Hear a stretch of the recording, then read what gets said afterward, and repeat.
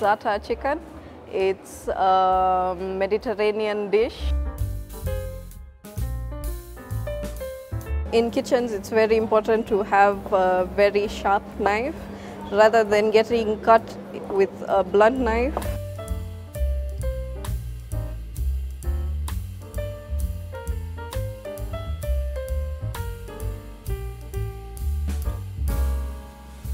Hi guys, my name is uh, Chef Jay. I want to welcome you to Art Cafe Market. Um, since it's the festive season, we're in December and it, everyone's in a holiday mode, so I'd like to show you a recipe that I feel you guys would like to try at home with your family. It's quite simple and flavorful, so I know everyone will enjoy it. Uh, so what we'll be preparing today is called za'atar chicken. It's a Mediterranean dish that we seem to like a lot here. Even our customers, when they come, they ask for that quite a bit. And uh, it's, uh, it's warm, it's flavorful, and we feel like it's a holiday food in terms of you'd really enjoy it with your family. So I'll take you around the market. You can help me shop and it's mostly the ingredients are all sourced here at the market and every day it's fresh so I'm sure you'll enjoy it. So I'll need uh, white onions, need lemon, Lemon. Okay, some lemon. Need how like how many pieces? Just one but you have to choose The very good one. Yeah. Okay, so One. that is okay. It's okay. Okay, and then else. we also need to pick celery, leeks and parsley. So that is from the fridge. chicken thighs, it's usually that it uh, is more succulent when we cook it, and that it, uh, even though the process we're cooking it will be in the oven and pan searing it, it'll still keep the moisture, it'll keep it soft, and it'll still taste good, and it'll absorb all the taste also. Hi, Anthony. Hi. So we'll be making za'atar chicken today, Okay. and I'll need your help to prepare it, Okay. so we can do it together. Welcome to our kitchen. Um, I'll be taking you through the recipe with Chef Anthony. I'll also like to introduce you to how our kitchen usually functions. So while we have that talk, Anthony can prepare the ingredients and then we can do it together. So in the kitchen, in this kitchen especially, this is our production area and uh, we serve a cold deli and this is our hot deli. Usually we have an assortment of the dips, of salads. So at the moment we have all these salads. We have the various olives, sun-dried tomato, beetroot and uh, cucumber, egg marinated eggplant. So it's usually we try to cater for everyone who has different tastes and we like our display to look colorful as well as flavorful and uh, in kitchens hygiene is very important so that's why you can see we have gloves on we have uh, hair nets on we we like to maintain our temperatures so that's why having a temperature checklist is very important. Just to know how our temperature is during the day how as you can see it it's per hour and we have to fill it in just so it we know how the day has progressed in case we have any issues with temperature we'll always know what's the reference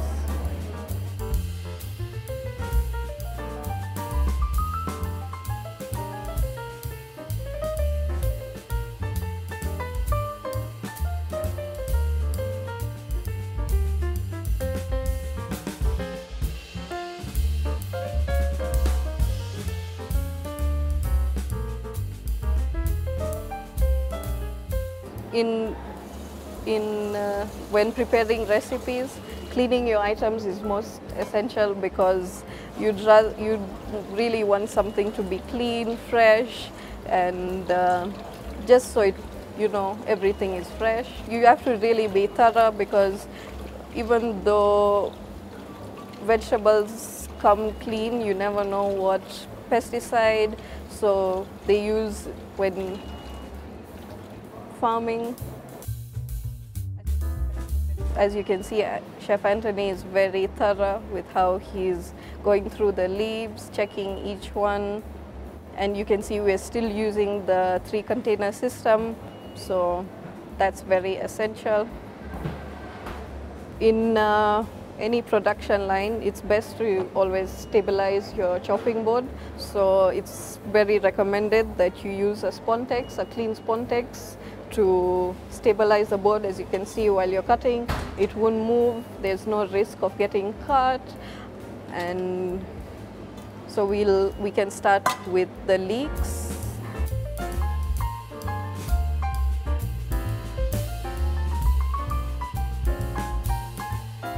In kitchens, it's very important to have a very sharp knife rather than getting cut with a blunt knife. So all our meat, we have our own meat, our branded meat. This is what we also sell to customers. It's very fresh and it's everyone we've got everyone likes our meat. So what I'll do is just open the packet, wash it again just to make sure everything is okay.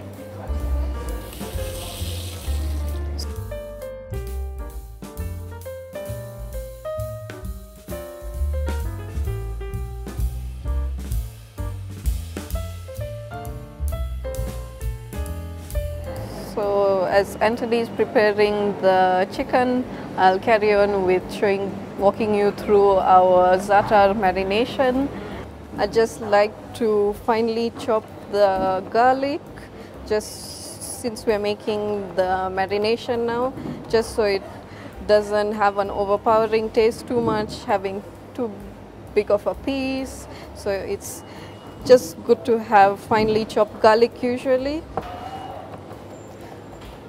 So how fine you cut it depends on you personally. So we could go finer, but I recommend this size for the marination. So I'll take another bowl, just add it in. You can adjust the size.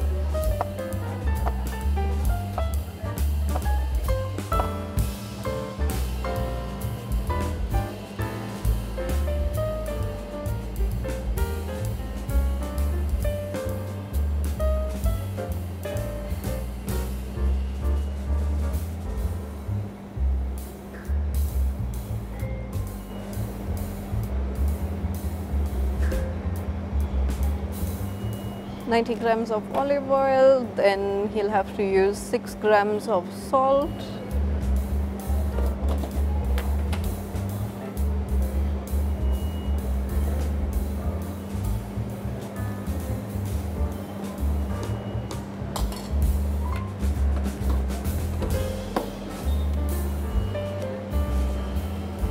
Six grams of sumac. Oh. And uh, we'll also need to place 65 grams of za'atar spice.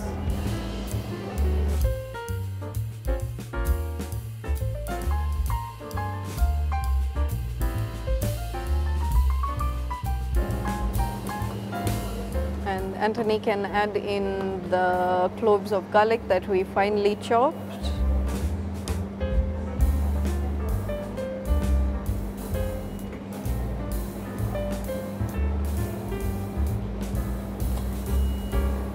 5 grams of the lemon juice.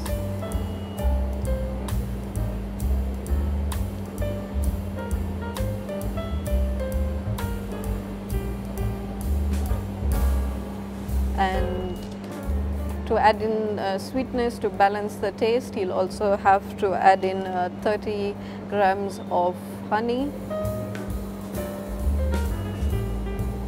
Our honey is also locally based, so locally sourced. Sorry, it's that all the ingredients, most to all the ingredients we use, we like to source them locally.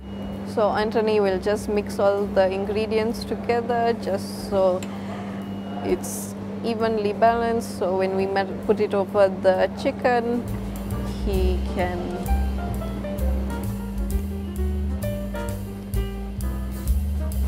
So what I'll need Anthony to do, Anthony, could you please marinate, put it over, put half of the amount over the chicken while I prepare the other ingredients before we put it in the oven.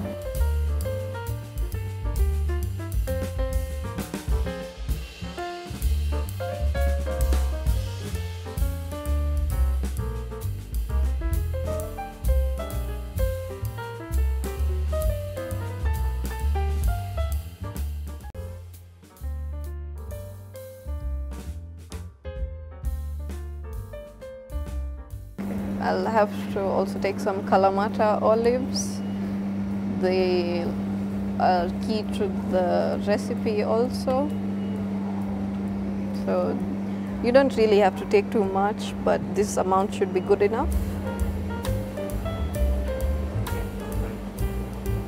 So what we can start with, after we've lined the insert with foil, we can take our uh, parsley, place it just make a bed.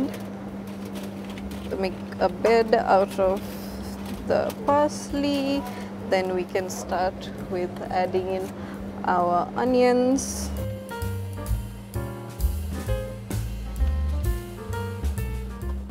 Not too many because you also need to keep some for the top.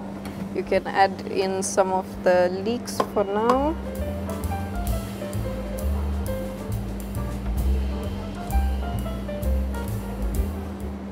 So you, you really need to open up the leeks so they don't stick together. And then now since Anthony is finished with marinating the chicken, as you can see, you can just add in the meat.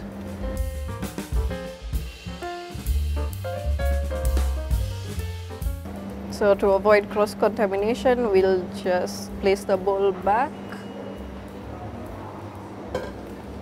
and uh, have a change of gloves.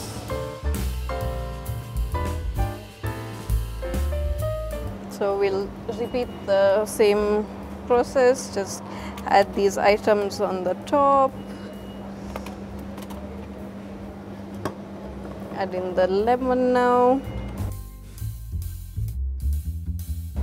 You don't really need to arrange it, you can just keep it on top, but I like to arrange things so can add in the remaining onions. The leeks again just add them back. And our Kalamata olives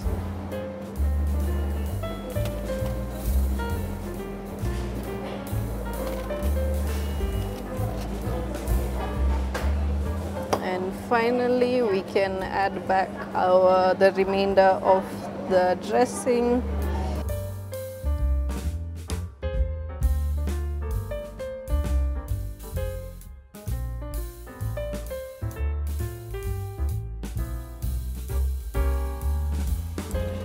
To to put the item in the oven.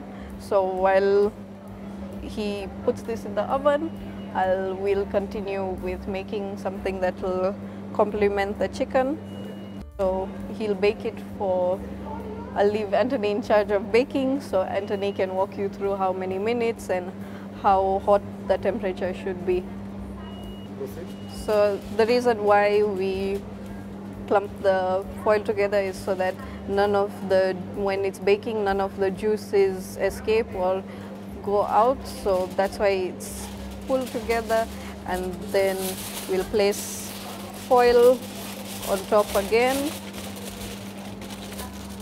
and now Anthony will place it in the oven for 15 minutes when the temperature is still at 180 and then we'll remove it, pan-sear it and make a sauce out of it.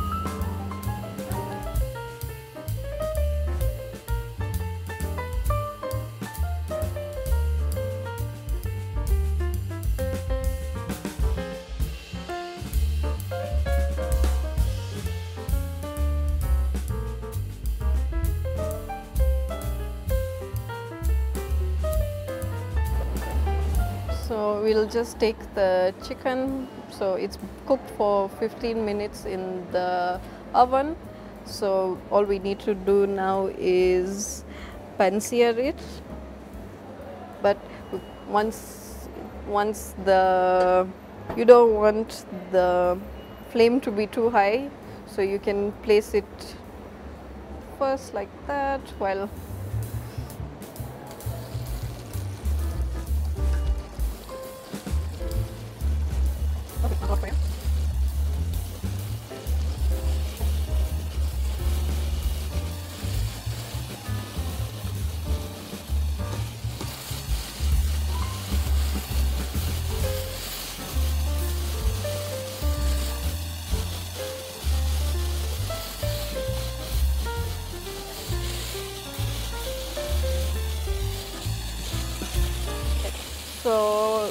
what you really need is to pan-sear it till till it has a golden brown coloring.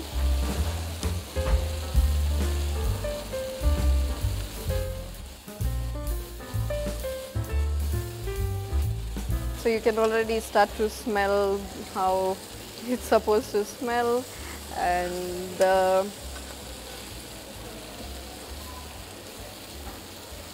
So what color we are actually looking for is this sort of color but all round. Can increase the temperature slightly but you don't want it to start burning. So and also when cooking chicken especially since it has uh, garlic chopped garlic in it the garlic will will start to burn faster than the other ingredients. So you just need to constantly be turning it, making sure nothing is sticking to the pan. Yes, it might be a non-stick pan, but you still need to make sure it doesn't stick. So as you can see, the color is really coming.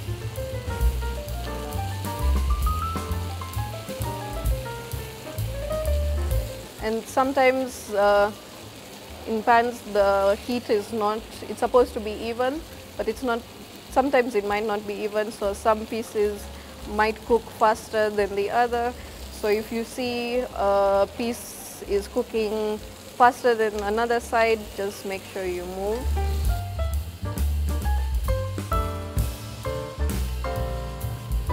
So the aroma is really coming through. As you can see this is the color that we are looking for.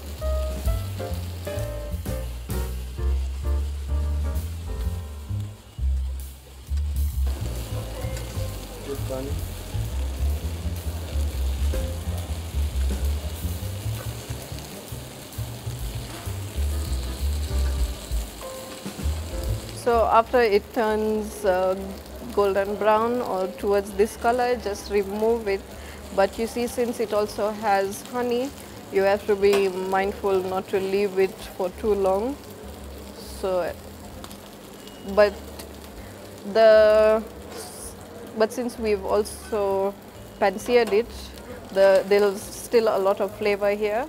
So I'll ask um, Anthony to help me with the rest of the ingredients that were used and we can make our sauce. So what Anthony will do is that he'll help me pour this sauce in here. I can hold it for Anthony. He'll place the juices in.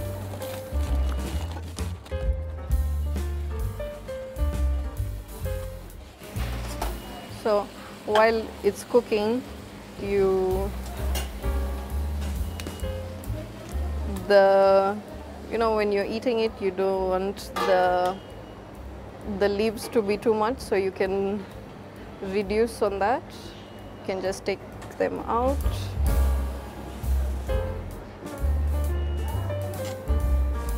You can leave a few strands, but it's not that you have to remove everything. So what we can do is we can add in some uh, chicken stock. It's rather than using water, it's recommended that you use chicken stock. So we'll add in the chicken stock and we'll just leave it to simmer for a few minutes. You can always taste, make sure you are constantly tasting and adjusting the seasoning just so that it tastes good and then also what you need to do is let it simmer until the consistency is slightly thicker.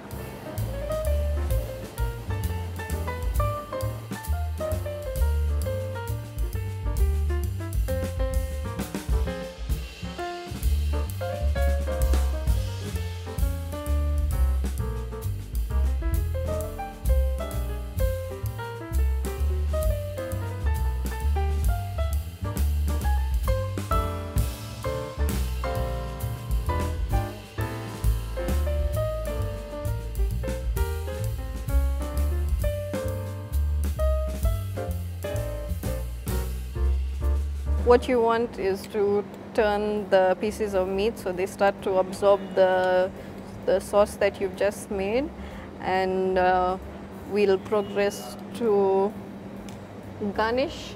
You don't really have to use too much lemon because the lemon might make it a bit uh, bitter or sour so just for just for aesthetics you can just put uh, two or three pieces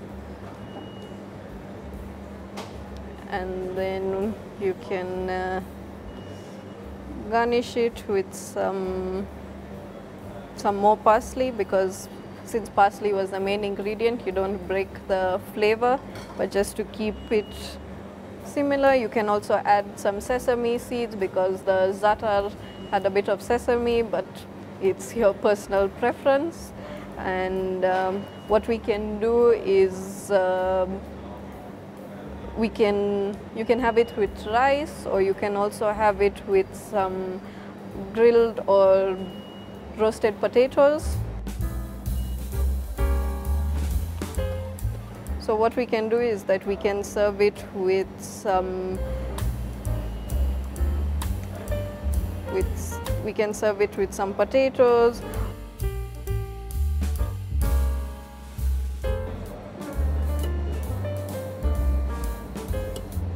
can add in anything else you want.